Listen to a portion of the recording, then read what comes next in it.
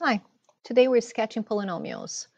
So let's look what we have here for number one. Notice that we have x plus 3 squared, x minus 5 squared. So the multiplicity over here is 2 on both of them.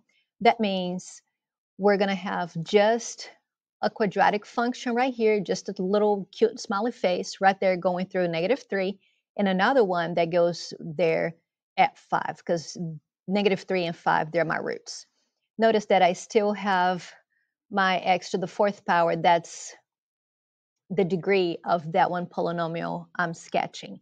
But it doesn't go through negative 3. It just touches negative 3 and it touches 5. This one is easier than number 1. Um, so it's just a regular cubic function, but it's negative, so it goes down, going through negative 2 and goes down let's see. Um, let's look at number six.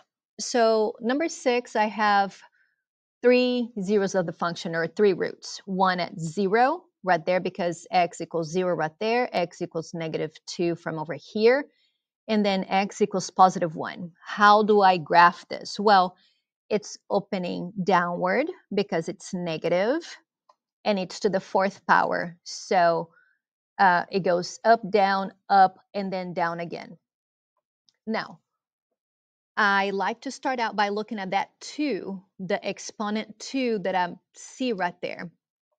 So I know it's going to be a quadratic shape right there, at that 2.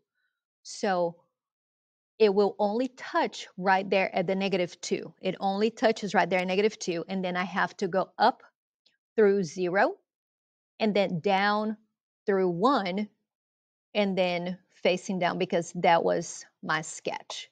Let's see what else I have. Um, number eight is another good one too.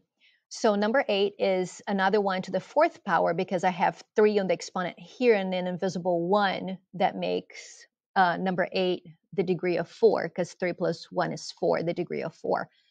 Um, the zeros of the function will be negative three and positive two.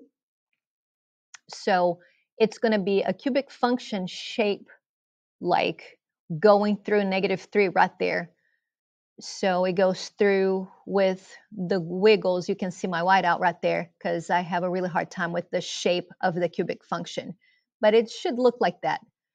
So, and because it's positive on number 8, it's positive, so it opens upward. But you have to make sure that it goes through and it has the shape of the cubic function right there at the negative 3 root.